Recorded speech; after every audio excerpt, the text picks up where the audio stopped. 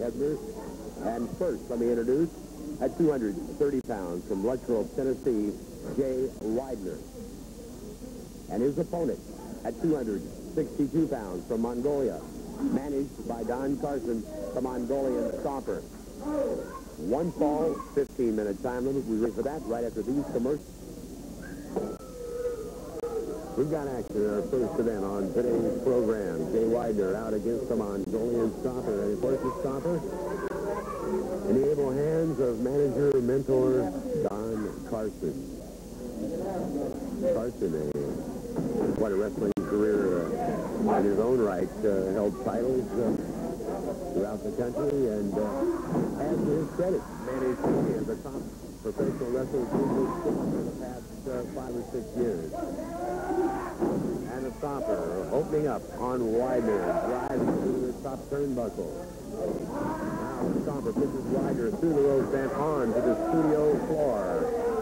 Stomper being pushed back by referee Hebner.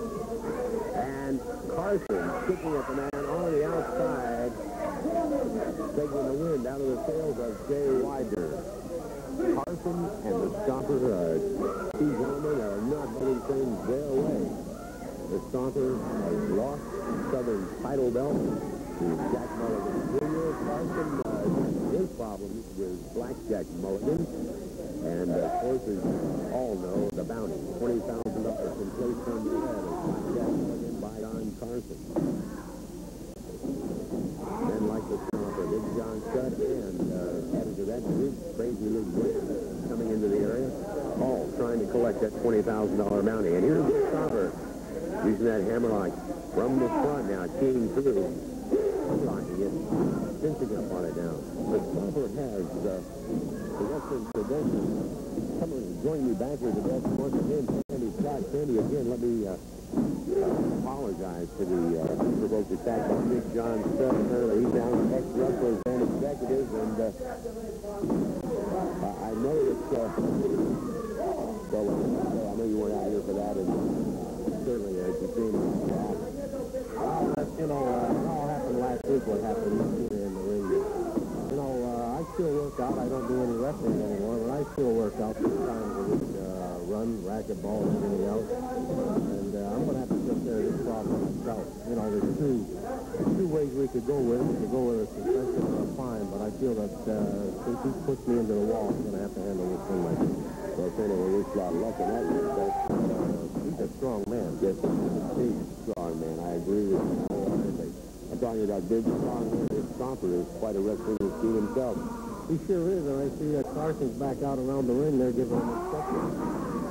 Widener once again being pushed to the studio floor, and uh, Don Carson will get his two cents worth in here. Look at that, look at that, look at that. Shoulder first into that steel ring post. Jay Widener uh, favoring that shoulder now. He has been uh, injured here. Not as mentioned as fans before he came back. Uh, Don Carson very upset. He's having his problems with Black Jack Mulligan, and of course, uh, Jack Mulligan Jr. has wrestled away that uh, Southern Heavyweight title with Stomper. So uh, Carson uh, has two uh, actions to grind now. That title belt plus his own personal issue with Black Jack Mulligan. Well, I, I have a problem with uh, Studd. wrong with the guy's arm? I have a problem with Studd, but I wouldn't want to be in Carson's shoes having a problem with the Mulligans, I'm telling you. No, that's for sure. Of course, he's trying to buy his way out of that with that $20,000 bounty that he's trying to get some of to collect on Black Jack Mulligan. As far no one has been successful. Well, I understand that crazy Luke Graham now is, is going to try to go after him. So, uh, by the way, they tell me he has a nickname. Uh, they, they tell me that uh, Crazy you call him Crazy he really goes crazy. Yes, uh, you know, I, I, The country and myself the start that crazy Luke, crazy crazy Luke. He does, in fact, go a little crazy. And his actions in that ring, we're going to see him later in the program. I think uh, the fact that he deserves to a crazy. Right. This Stomper seems to have everything under control right now. Well, he opened up on Widener from the from the very get-go and uh, has given Jay no chance to mount any type of offense whatsoever. There's that stick coming off the rope.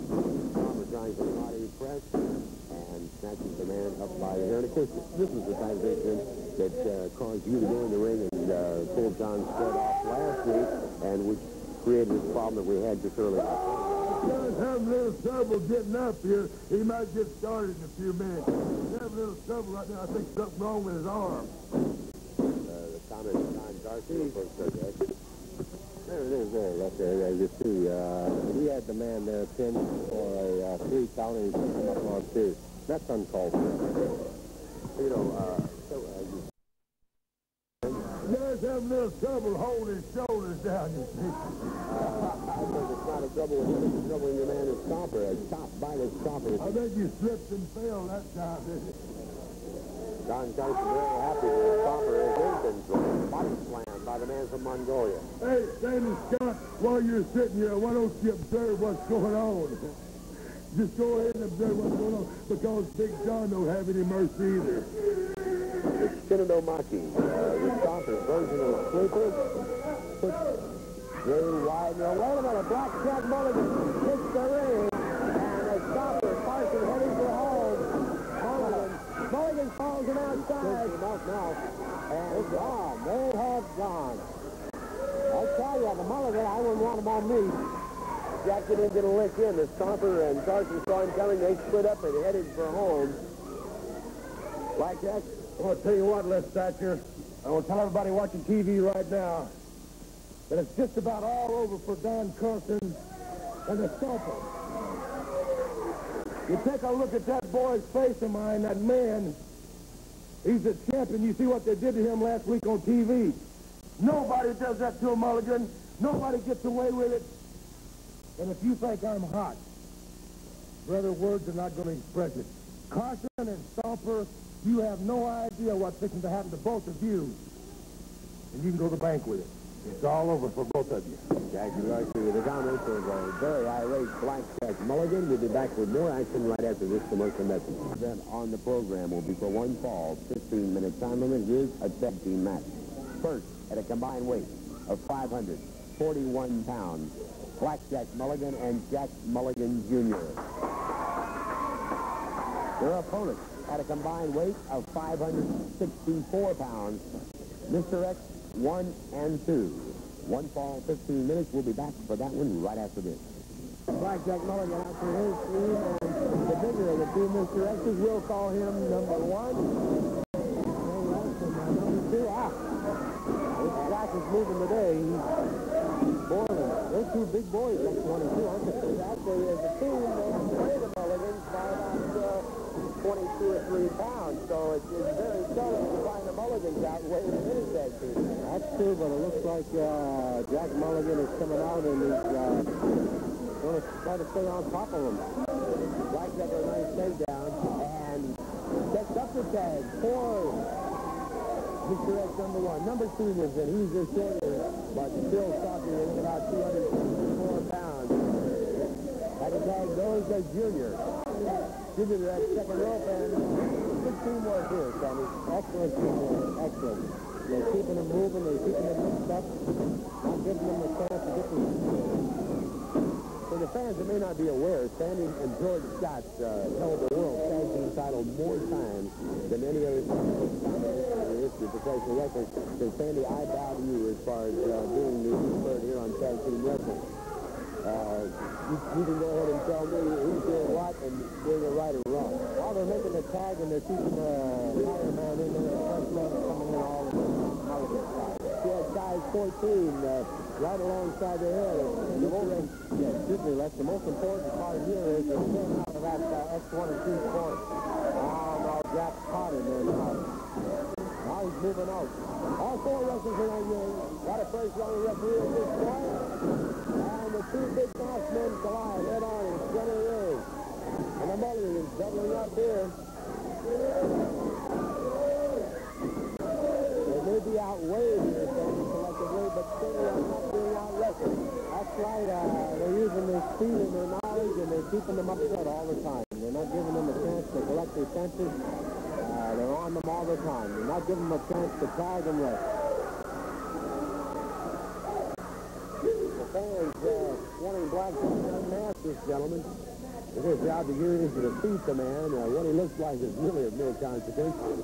Junior with that elbow sends the big man crashing through the canvas. See, they got him. They've been working on him now for about a year and a half. And if they can keep him in there, it's just a matter of time before uh, Mulligan gets their hand raised. You know, Jackson uh, at 241, 242 was very lean, Sanders. And as he matures, he's going to have, I'd say, 20 pounds for that frame. It's going to make him uh, even suffered Oh, he's going to be awesome, yes. He's going to be an awesome uh, wrestler. You're just, you're just keeping him over in the Mulligan corner, and uh, that's the secret of this. Tag in and out and keep the man in your corner. Keep a first man in on your team all the time. Wow, double elbow. One would be bad enough from Blackjack, but we've been killed, and uh, that's more than I would want to handle myself.